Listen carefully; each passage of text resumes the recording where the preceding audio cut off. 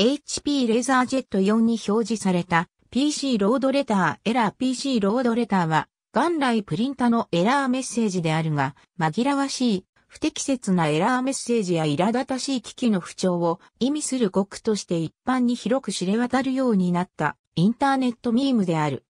レーザージェットの初期のモデルでは、すべてのステータスメッセージに2文字の表示が使用されていた。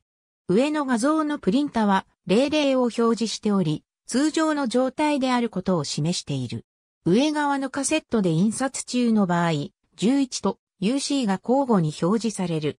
レーザージェット2、3、HP レーザージェット4シリーズなどの古い HP レーザージェットプリンタで印刷すると PC ロードレターというメッセージが表示されることがある。これはレターサイズの用紙がセットされていないのに用紙のサイズがレターサイズに設定されている文章を印刷しようとしている時に表示される。このエラーメッセージは3つの部分で構成されている。PC はペーパーカセットの略語であり、プリンタが使用する用紙を保持する休止トレイのことである。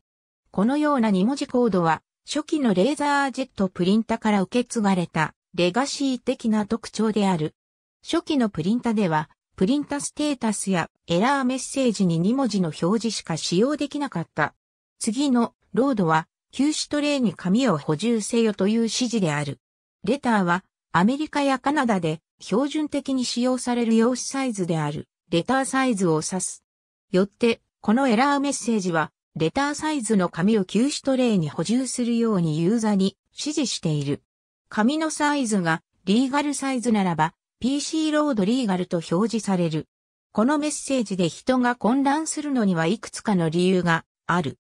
PC という言葉は、パーソナルコンピュータの略語として用いられるのが一般的であり、そのため、プリンタではなく、コンピュータに問題があるという誤解を招く。ロードという言葉は、ディスクからメモリに電子データを転送することも指すので、曖昧である。さらに、レターという言葉が、用紙サイズを指すのは、アメリカ、カナダとラテンアメリカ諸国くらいで、国際的には A4 が標準の用紙サイズである。そのため、このメッセージを見たユーザーは、文字をコンピュータからプリンタに転送するよう指示されていると勘違いしてしまう。古いレーザージェットプリンタは文書のページサイズがプリンタにセットされている用紙のサイズと一致しない場合、ページサイズを自動的に変更しない。A4 サイズの用紙がセットされている状態で、レターサイズの文書を印刷しようとすると、このメッセージが表示される。多くのプログラムでは、デフォルトのページサイズとしてレターサイズが設定されているため、アメリカ人以外のユーザーがこのエラーメッセージに遭遇することになる。そして、ほとんどのユーザーは復旧手順を知らない。レーザージェット5では、警告メッセージを無効にするための Go ボタンが追加された。